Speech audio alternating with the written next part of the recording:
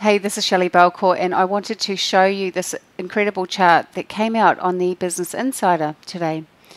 So, BI Intelligence is a big corporation who do business um, analysis, and they are forecasting that payments made by mobile, which is currently at 223 billion, 223 billion per day, are forecast to rise dramatically over the next couple of years. Here we have $1.476 trillion by 2017. now that's only a few short years away. We're in 2013, it's four years away. See, Apple are more than just talking, but they are meeting with their top executives to create a payment system that will be done on your mobile phone.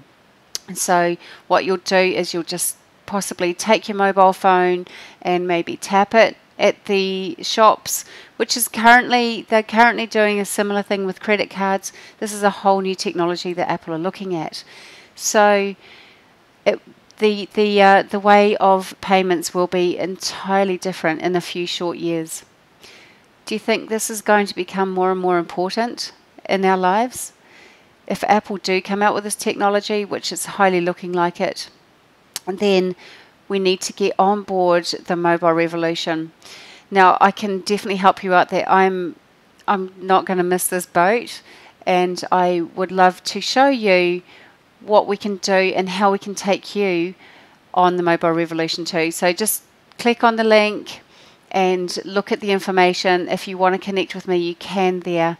And I I just hope I hope you see the value in this as I do because it's absolutely amazing. So my name is Shelley Belcourt, and I'll talk to you soon.